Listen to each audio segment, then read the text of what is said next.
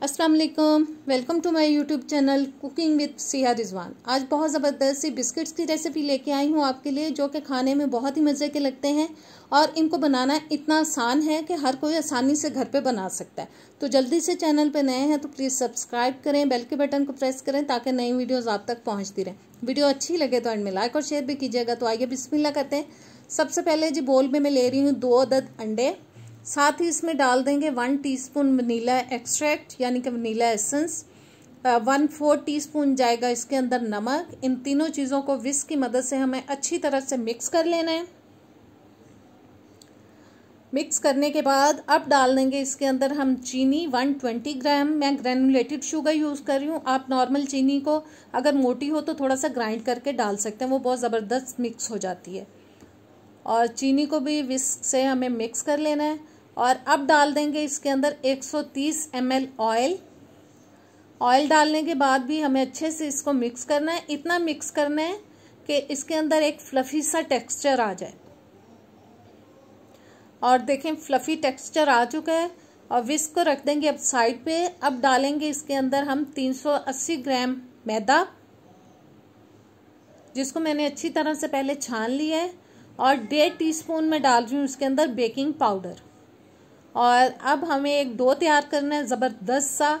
Mix कर लेंगे इसको अच्छी तरह से और फिर हम देखेंगे कि हमें मज़ीद इसमें दूध या पानी डालने की ज़रूरत पड़ती है कि नहीं। तमाम चीज़ों को अच्छी तरह से हमें मिक्स कर लेना है। और मेरे ख्याल में मुझे थोड़ा सा दूध डालने की ज़रूरत पड़ेगी। आप पानी भी डाल सकते हैं, लेकिन मैं दूध डालूँगी। और बस थोड़ा थोड़ा करके डालना ये ना हो कि डो बहुत ज़्यादा सॉफ्ट हो जाए। नॉर्मल सा हमें एक डो तैयार करना है, ना बहुत सख्त होना चाहिए, ना बहुत ज़्यादा सॉफ्ट होना चाहिए। और थोड़ा थोड़ा करके हम दूध डालेंगे और इसको गूंद लेंगे अच्छी तरह से। अगर आप चाहते हैं कि आपकी जो बेकिंग है वो बहुत ज़बरदस्त हो तो आपके पास मेयरिंग स्केल होना चाहिए मेयरिंग कप्स होने चाहिए, स्पून होने चाहिए मतलब बेकिंग से रिलेटेड चीज़ें होंगी तो आप बहुत ज़बरदस्त बेकिंग कर लेंगे। और देखें, मैंने डो तैयार कर लिया है। और अब हम डो को टू पार्ट्स में डिवाइड करेंगे। आप चाहें तो एक पेड़ा भी बना सकते हैं। बस इसको थोड़ा सा हम पेड़े की शेप में ले आते हैं। और फिर हमें इसको बेल लेना है। इतना बेलना है कि बहुत ज़्यादा पतली रोटी नहीं बननी चाहिए, जैसे हम नॉर्मल रोटी बनाते हैं। बस हल्का सा इसको हमें थोड़ा मोटा रखना पड़ता है। बहुत हल्का सा, मैं बेल के आपको दिखाऊँगी कि हमें इसको कितना रखना है।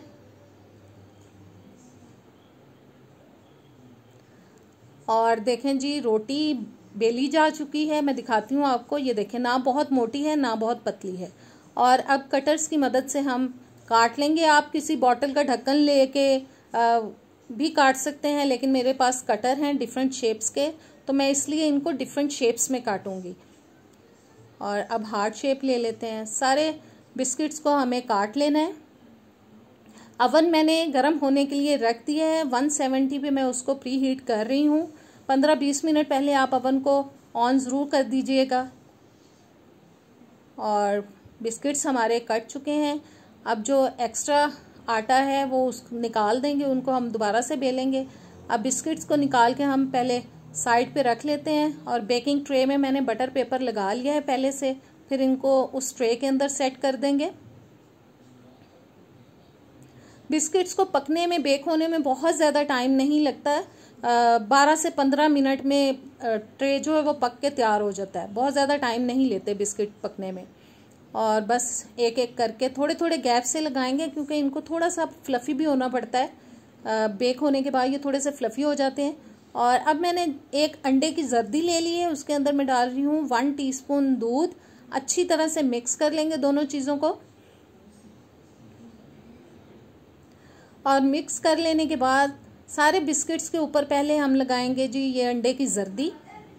बस ब्रश की मदद से सब के ऊपर इस तरह से कोट कर देंगे जर्दी को। और ऊपर मैं डाल रही हूँ अब तिल। आप कटे हुए पिस्ते बादाम डाल सकते हैं। जो आपका दिल चाहे आप डाल सकते हैं। बहुत मज़े के बनते हैं। आपके घर वालों को बहुत पसंद आएँगे। अब इनको बेक होने के लिए रख देते हैं। और अब मैं दूसरा ट्रे तैयार कर रही हूँ। इनके ऊपर मैं तिल नहीं लगाऊँगी। इनको मैं ऐसे ही जर्दी लगा के तो बेक कर लूँगी। जैसे ही पहला ट्रे तैयार हो जाएगा, फिर इसको रख देंगे अवन में। और जी, पहला ट्रे हमारा बन के तैयार हो चुका है और देखें कितने ज़बरदस्त बने हैं। थोड़ा बेक करने के बाद 10-12 मिनट के बाद मैंने इनको ऊपर वाली ग्रिल ऑन करके थोड़ा सा सेक लगवा लिया था, जिससे ज़बरदस्त कलर आ गया। तो कैसी लगी आज की रेसिपी? ट्राई कीजिएगा इन ताला आपको पसंद आएगी। अब इजाज़त दें। अल्लाह हाफिज़।